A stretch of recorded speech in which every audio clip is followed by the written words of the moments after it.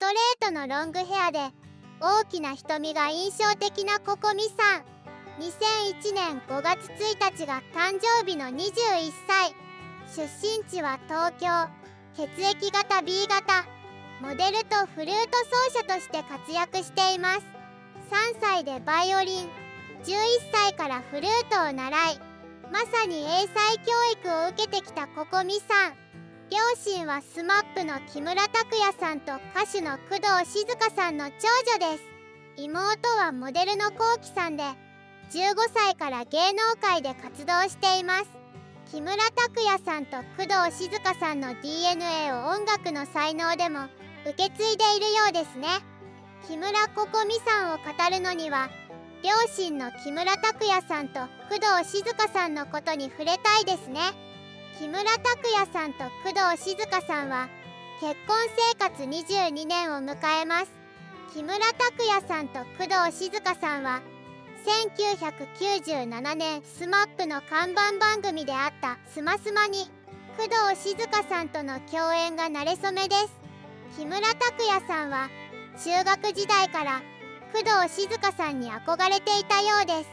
お互いの事務所は人気絶頂の2人なので熱愛騒動を危惧し共演を拒否する意向だったようです。しかし共演は実現しました。共演後木村拓哉さんの方から連絡先を聞いた様子ですね。木村拓哉さんも工藤静香さんも共通の趣味はサーフィンだったようです。木村拓哉さんは酒井紀子さんの元夫の高荘雄一さんとサーフィン仲間。工藤静香さんは酒井紀子さんと仲良しでサーフィンをしていました。1999年から2000年にかけてサーフィンでの交際が始まります。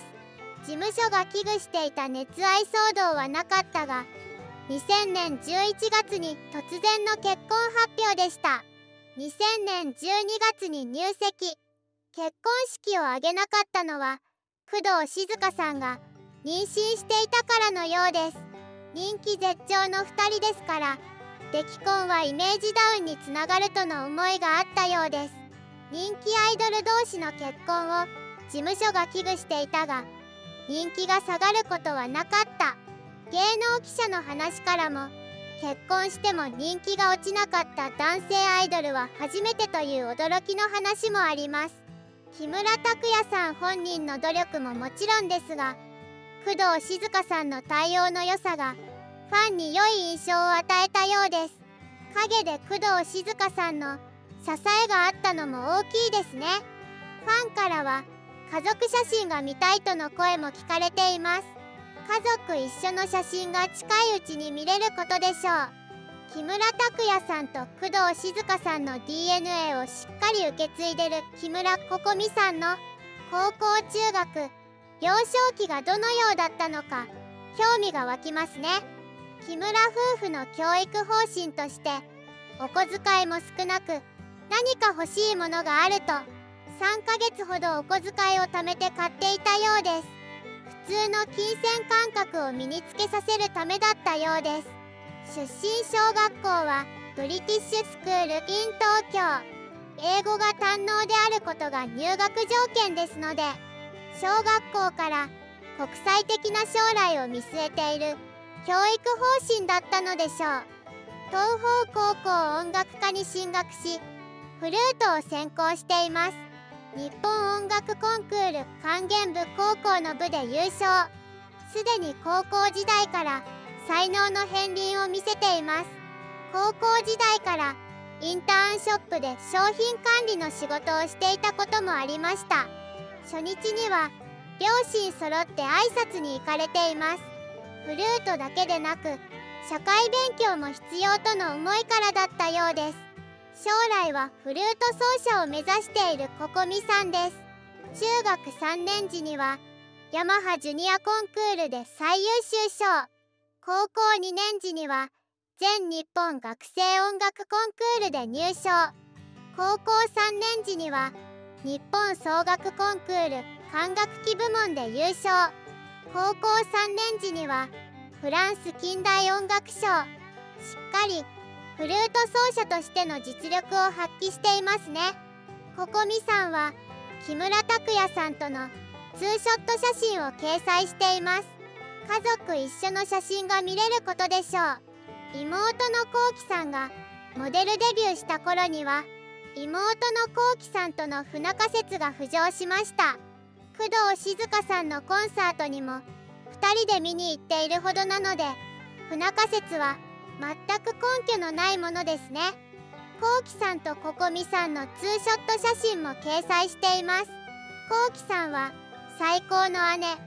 そして私の分身。愛しているよとツイートしています。妹のこうきさんは15歳から芸能界入りし活動されていますがここみさんは芸能界からのスカウトもあったようですが芸能界入りしていません。そんなところから出た姉妹の不仲説みたいですね。どうしても両親が有名なアイドル2人の娘なので様々な噂が立つようですね。根拠のない噂話は若く年頃の娘さんには酷な噂ですね。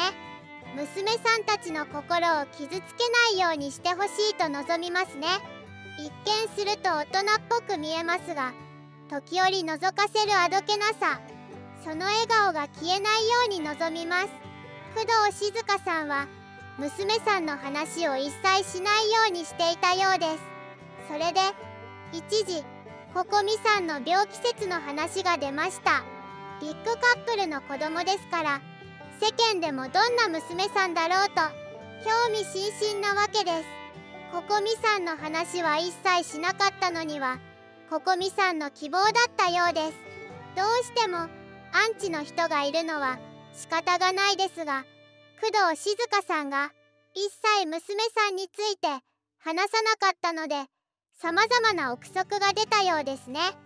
ここみさんがキムタクの娘だと取り上げられるのを嫌ったのは親の七光のレッテルを貼られたくないとの思いからでした。